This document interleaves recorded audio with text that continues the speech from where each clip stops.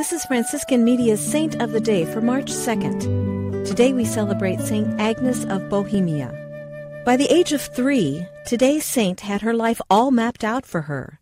As the daughter of the King and Queen of Bohemia, Agnes would need to marry royalty herself. And so her parents had her betrothed to the Duke of Silesia. Three years later, the Duke died.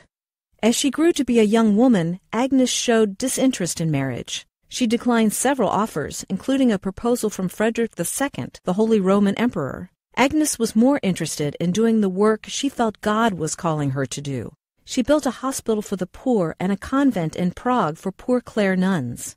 In 1236, when she was in her early 30s, Agnes entered that convent, along with seven other noblewomen. When she was elected abbess, Agnes only accepted the position after some papal pressure had been exerted. Even then, she preferred the title Senior Sister. Agnes made it a priority to join the other sisters in their ordinary daily tasks, such as cooking, sweeping, cleaning, and mending the clothes of lepers. Agnes died in 1282 after spending more than 40 years at the convent she had constructed. Pope John Paul II canonized her in 1989. There's more about the saints along with inspiration and Catholic resources at our website, saintoftheday.org. From Franciscan Media, this has been Saint of the Day.